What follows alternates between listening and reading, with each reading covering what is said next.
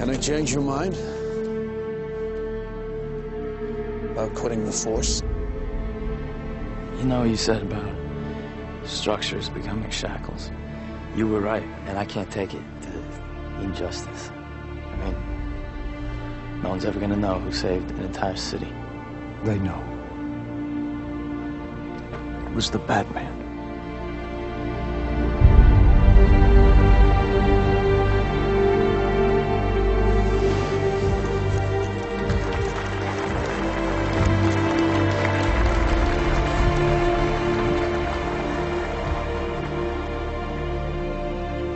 Mr. Wayne's will was not amended to reflect his more modest estate. Nonetheless, there are considerable assets to dispose of. The contents of the house are to be sold to settle the estate's accounts, and the remainder is left in its entirety to Alfred J. Pennyworth.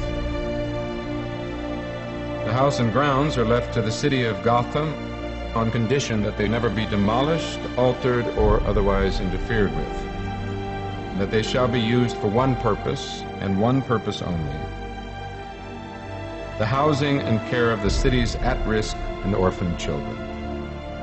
And my clerk can help anyone with the smaller correspondences and instructions. Blake, John, Nothing here. I, uh, try my legal name. You should use your full name. I like that name. Robin. Thanks. Why are we even worrying about the stabilization software? This entire autopilot system is completely obsolete. Please, I just need to know what I could have done to fix it. But, Mr. Fox, it, it's already been fixed. Software patch. Six months ago. Check the ID on the patch. Hmm. Bruce Wayne. Any news on the missing item? Not yet. We better leave no stone unturned. We can't leave a string of pearls on the manifest as lost.